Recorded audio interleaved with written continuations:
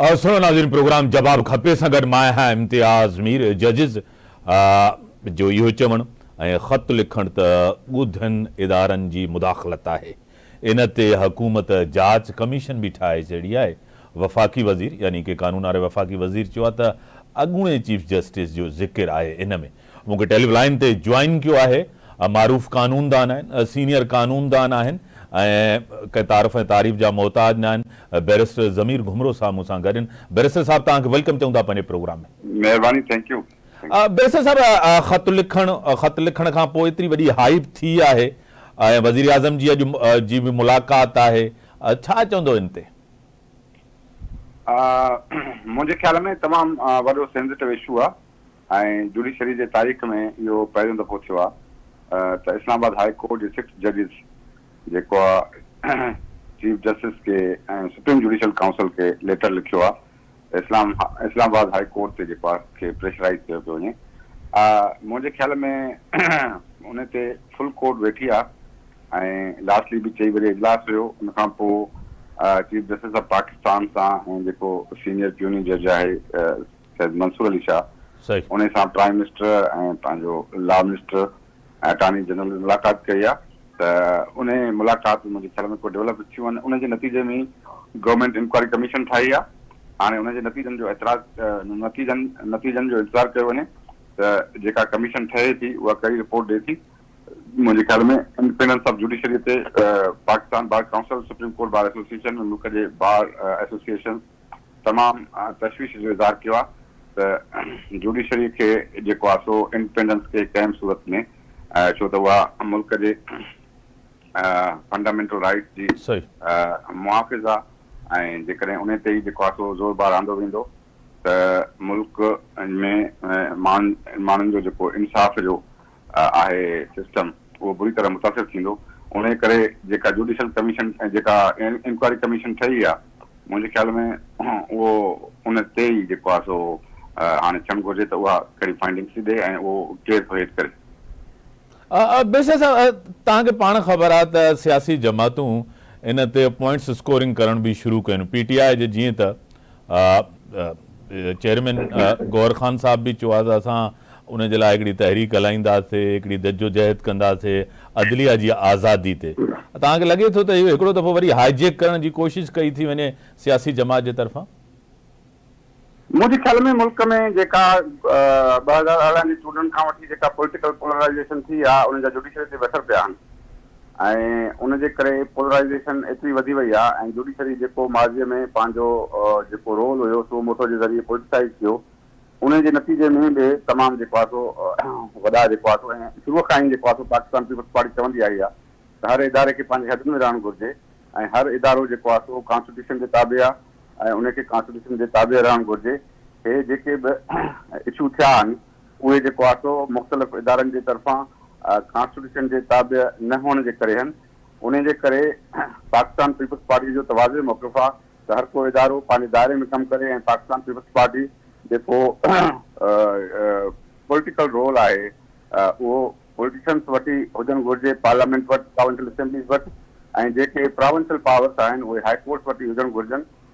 ऐं न की जेको आहे उनखे ॿियो इदारो एक्सरसाइज़ करे उन सां ई हल थी सघनि था। उन नतीजो इहो आहे, जो इहो पोलिटिसाइज़ पोलिटिसाइज़ेशन थी आहे जुडिशरी जी माज़ीअ में।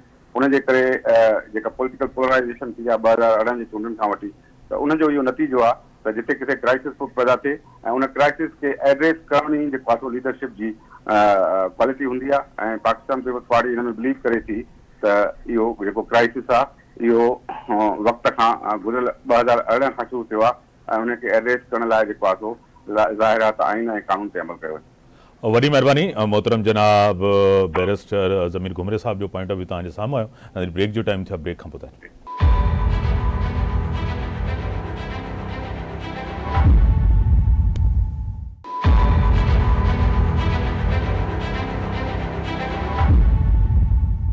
वेलकम इब्राहिम टेलीलाइन पे ज्वाइन किया है सीनियर रहनमा सीनियर सियासतदान M N A Pakistan peoples party की पहले भी एम एन ए रह चुकी हैं वोमन विंग कराची के प्रेसिडेंट हैं शाहिदा रहमानी साहबा मेरे साथ हैं मैं आपको वेलकम करता हूँ अपने शो में।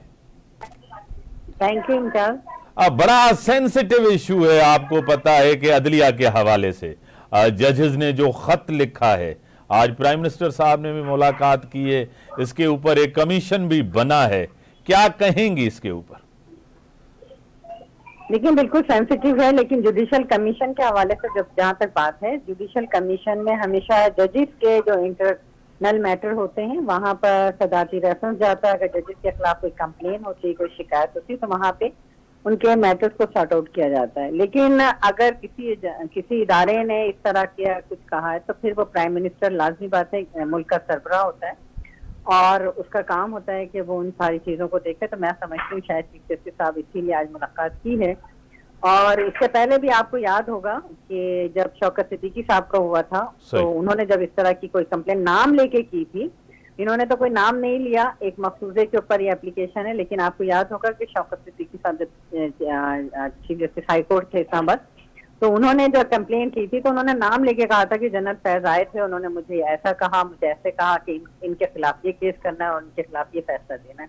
लेकिन आपने देखा कि उस वक्त की हुकूमत उनके खिलाफ रेफरेंस भेजा प्रेसिडेंशियल और उनको फारिग कर दिया गया उधर से। तो इस तरह नहीं होना चाहिए और अगर इस तरह की कंप्लेन है तो इनको बाकायदा जो है रिटर्न ना सिर्फ़ चीफ ऑफ़ आर्मी स्टाफ को देना चाहिए था। अगर किसी इदारे उनकी इन्वॉल्वमेंट है और इसी तरह प्राइम मिनिस्टर को देना चाहिए था ठीक है चीफ जस्टिस साहब को दी है तो चीफ जस्टिस साहब उस मैटर को सॉर्ट आउट कर रहे हैं।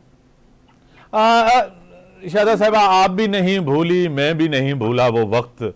आपको पता है कि मौजूदा चीफ जस्टिस साहब, मोहतरम जनाब काजी फाइज ईसा साहब उस टाइम भी हमारे लिए काबिल इज़्ज़त थे, आज भी काबिल इज़्ज़त हैं। जब पीटीआई का दौर था, उनके लिए उन्होंने क्या क्या नहीं किया, उनकी फैमिली के लिए कौन कौन सी मुश्किल पैदा नहीं की आपको भी याद है, मुझे भी।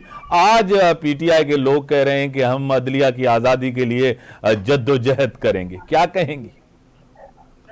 देखिए, मैंने ये जो जहाँ शौकत सिद्दीकी साहब का रेफरेंस दिया, इसके बाद हमें याद है कि काजी फ़ायदा के खिलाफ जो रेफरेंस प्रेजिडेंशियल रेफरेंस दायर हुआ, उसमें हमें याद है कि क्या क्या हुआ, उनकी मिसिस को किस तरीके से थ्रेट किया गया, इन्हें किया गया बाकायदा ट्रोल ट्रॉलिंग की गई। लेकिन आपने देखा कि आज वही चीफ जस्टिस जो है, इनके लिए इंसाफ कर रहे हैं। और आज जो है, इन्होंने बाकायदा इसकी पीटीआई का हमेशा से वतीरा रहा है कि जब इनके अपने खिलाफ कोई चीज़ आती है तो ये उस पर वावेला करते हैं। और अगर इनके हक में फैसला आ जाता है, ये ये चाहते हैं कि बस चीफ जस्टिस हो या जो भी जजेस हों, वो इनको गुड टू सी यू कहें, फिर प्रोटोकॉल के साथ इन्हें रुख्सत करें, इनके ये कितने भी बड़े बड़े जराइम कर लें, इनके खिलाफ कोई फैसला ना दे सकें। तो ये हर चीज़ मीठा मीठा हाथ और कड़वा कड़वा थू करना चाहते हैं ऐसा नहीं होता। और आ, इनको अपना दौर याद करना चाहिए कि किस तरह सहाफियों को थ्रेट की गई हैरसमेंट किया गया किस तरह जजिस को किया गया। और आज जो है हज़ार अठारह के भी इलेक्शन याद है 2018 से तेईस तक के जो मामला हैं वो भी याद हैं। तो इन्हें अपना वक्त नहीं भूलना चाहिए कि इन्होंने क्या कुछ नहीं किया। नून लीग के साथ आप वफाकी हुकूमत का हिस्सा तो नहीं है। और सारे फैसले वो खुद ही कर रहे हैं आपको पता है। इरसा चेयरमैन के ऊपर जिस तरह बयान हुए और जिस तरह राना सनावला ने कहा कि पीपल्स पार्टी अच्छा बनने की कोशिश करती है हमेशा उसके बाद थोड़ा सा रिफ्ट नज़र आ रहा है। अब तो नून लीग को खुला मैदान है जिस तरह फैसले करें आ, सारी वजारतें उनके पास हैं। आपके पास अगर हैं तो आईनी होते हैं सिर्फ़ क्या कहेंगी? देखिए पीपल्स पार्टी ने हमेशा जमहूरी रवायात का ख्याल रखा है हमेशा एहतराम किया है। और जिस वक्त अपोजिशन में आ, हम थे तो उस वक्त मेजोरिटी पीएमएलएन की थी तो हमने अपोजिशन लीडर इन्हें दिया। जब हम vote of no confidence peoples party की जद्दोजहद से आया लेकिन उसके बावजूद हमने प्राइम मिनिस्टर चूँकि मेजोरिटी में थे इन्हें दिया। और अब भी ये मेजोरिटी में हमने एहतराम किया और प्राइम मिनिस्टरशिप को के लिए इन्हें नॉमिनेट किया और हमने वोट भी दिया और जहाँ तक रही बात कैबिनेट में शामिल होने की तो बिल्कुल हम नहीं हो सकते क्योंकि ये मेजोरिटी में है। आप इन्हें हक इकतदार है कर रहे हैं इकतदार। और हाँ गल, गलत बात ना पहले की बर्दाश्त हुई है ना आप करेंगे। ईसा की चेयरमैन का मामला था हमने असम्बली में उठाया सीएम सिंध ने उठाया। और ये बहुत अच्छी बात है कि वज़ीर आज़म साहब ने एहतराम किया और अपना फैसला वापस लिया। ये बहुत खुशाइन बात है।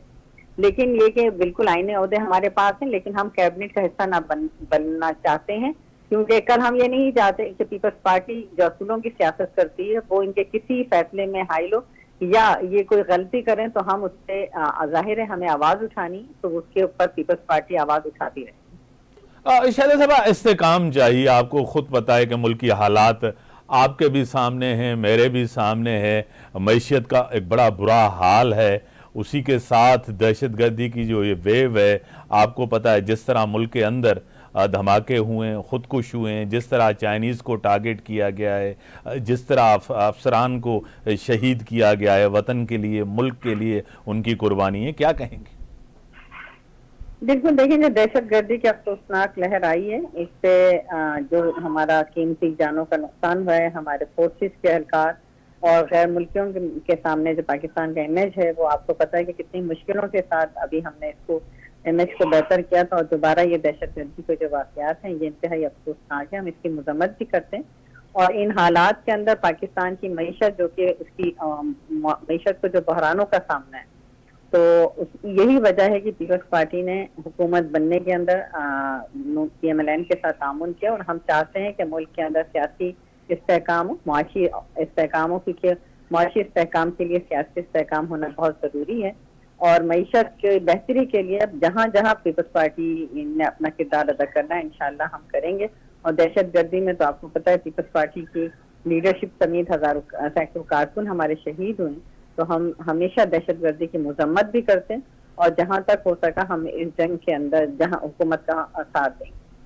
बड़ी मेहरबानी शाहिदा रहमानी साहिबा पीपल्स पार्टी जो कुर्बानियों जमहूरियत जे आइन जे लाइ आवाम जे लाइ सिस्टम जे लाइ उनजी शहादतूं, क़ुर्बानियूं क़यादत ॾिनियूं पाकिस्तान पीपल्स पार्टी की हिन में कोई शक ना मुल्क के अंदर दहशतगर्दी, मैशियत अदलिया के हवाले सां वॾो सेंसिटिव इशू है कुछ सियासी जमातूं इन ज़रूर ज़रूरु पॉलिटिकल पॉइंट्स स्कोर करण मूड में आहिनि। ब्रेक जो टाइम थियो ब्रेक का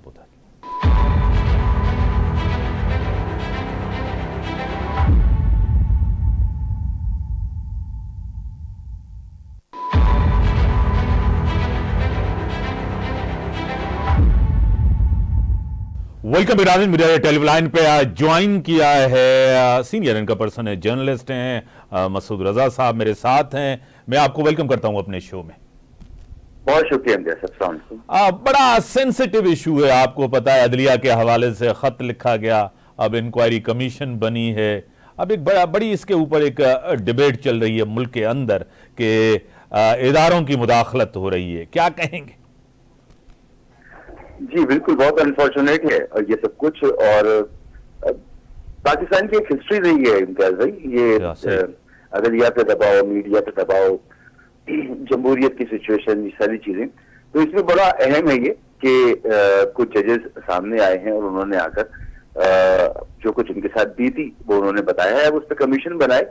तो अब ये देखने वाली बात है कि कमीशन जो है ये वाकता ऐसे इकदाम तजवीज कर सकता है, जिसमें कौम को इतमान हो और अदलिया पे दबाव की जो सिचुएशन है, वो आइंदा इस तरह से पैदा ना हो। आप मसूद साहब, आपको याद होगा, माजी भी पीटीआई का दौर था जिस तरह रेफरेंस जाते थे सदारती, मौजूदा चीफ जस्टिस साहब काबिल एहतराम है हमारे लिए, मुल्क के चीफ जस्टिस हैं, काजी फायज ईसा साहब हो, उनकी मिसिस के हवाले से ये आपके सामने। और दूसरा उसके बाद जो है ना, शौकत सिद्दीकी साहब के साथ जो हुआ, वो भी आपके यहाँ, जिस तरह आपने माजी का ज़िक्र किया है, क्या कहेंगे? देखें अदलिया का इदारा हाल माजी या मुस्तबिल की सिर्फ़ बात नहीं है। मुल्क का एक बहुत अहम इदारा है, एक पिलर है मुल्क का। और अगर वहाँ से ये शिकायत आ रही है तो वो चाहे पहले हुआ हो, अभी हो रहा हो, या आगे होने के खदशात हो, ये तशवीश की बात है। और इसको खत्म होना चाहिए, इस सिलसिले को।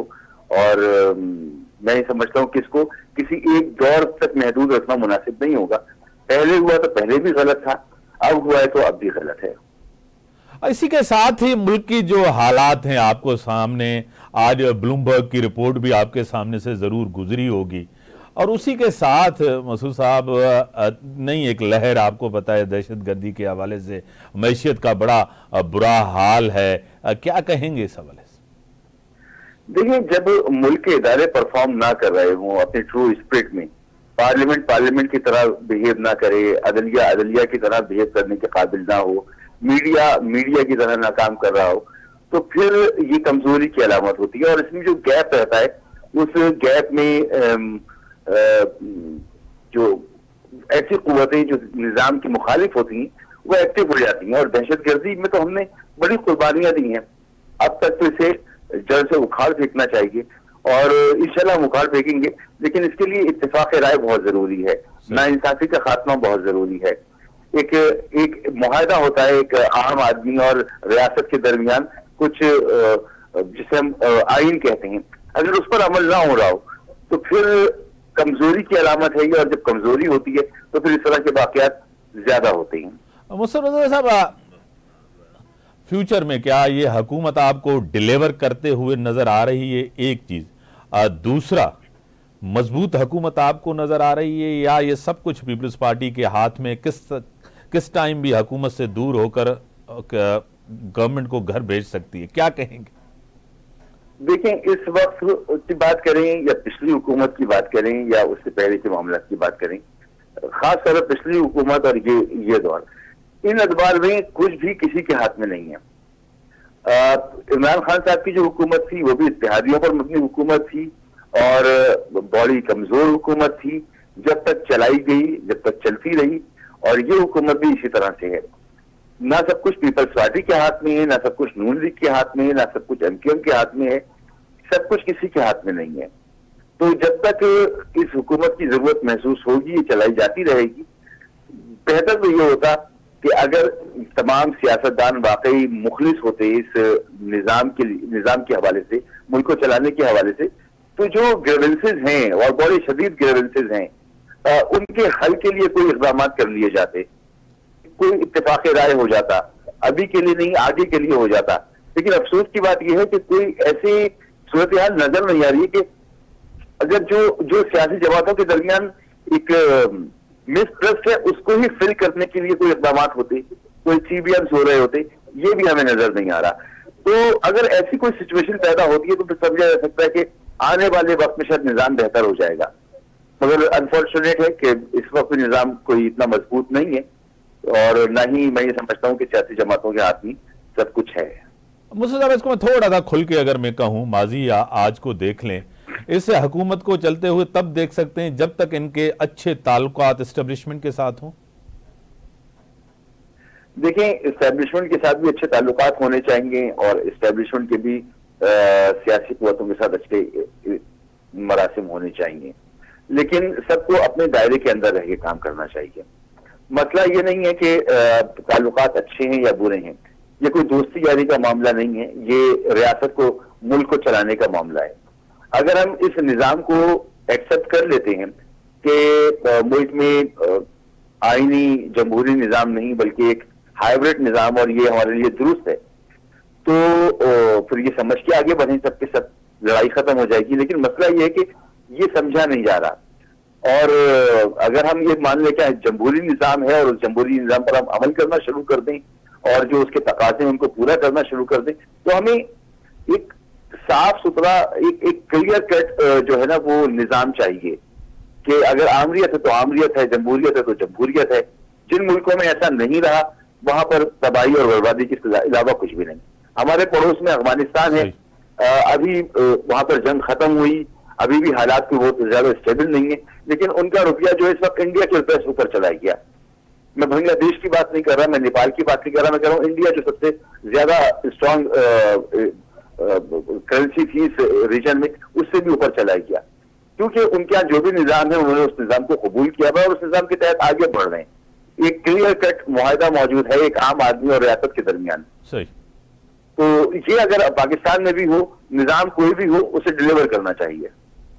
आगे आगे आप जिस तरह पोलराइजेशन पहले भी रही है अभी भी पोलराइजेशन आपको एक नज़र आ रही है। आपको लग रहा है कि आगे चल के ये पोलराइजेशन कम होगी? पीटीआई का जो स्टांस है अभी तक, जो उनके बयान हैं, जो उनकी सियासत है, अभी तक वो उसी उसी पॉइंट पे खड़े हैं। क्या कहेंगे? देखिए पोलराइजेशन हर दौर में रही है। क्या नाइन्टीज के जमाने में नहीं थी? क्या कौम दो दो दो जो सियासी जमातें थी, उन्हीं के पीछे खड़ी थी ना? या कुछ मजहबी जमातों के पीछे खड़ी होती थी तो ये रहता है। मामला यह है कि तहरीक इंसाफ अब तक तो कुछ नहीं कर पाई इस पोलराइजेशन के बावजूद। आगे किस वक्त कर लेगी, इसका हमें अंदाज़ा है, इसका हमें नहीं पता। ये कोई स्विच है जो कहीं से ऑन, कहीं से ऑफ़ होता है। एकदम से सियासी जमातों में जान आ जाती है, उनके धरने भी शुरू हो जाते हैं, उनके एहतजाज भी शुरू हो जाते हैं। मुख्तलिफ़ सेक्टर जमा होने शुरू हो जाते हैं और फिर हुकूमतें घर चली जाया करती हैं। और जब नहीं जाना हो तो कितनी ही अवामी कुत हो, कितनी ही मकबूलियत हो, कितने ही वसाइल मौजूद हो, नहीं होता। बड़ी मेहरबानी सीनियर इनका person senior journalist Masood Raza साहब का पॉइंट ऑफ़ व्यू पोलराइजेशन दौर में रही है अभी भी पोलराइजेशन है। मुल्क को इसकाम चाहिए, जो हालात हैं ताल्लुक यानी कि इस्टबलिशमेंट के और गवर्नमेंट के ताल्लुक बेहतर होने चाहिए। जुडिशरी एक सेंसिटिव इशू है। और इसके ऊपर सियासत ज़रूर हो रही है। और इससे पहले भी जुडिशरी के हवाले से तनकीद होती रहती है, सियासी जमातों के हवाले से। जितने भी पोलिटिकल लीडरशिप तव्हांजे आहे उहा तनक़ीद कंदी आई ऐं इदारा मज़बूत हूंदा तो मुल्क जे लाइ बेहतर आए। इन सां गॾु इजाज़त। अलाह हाफ़िज़।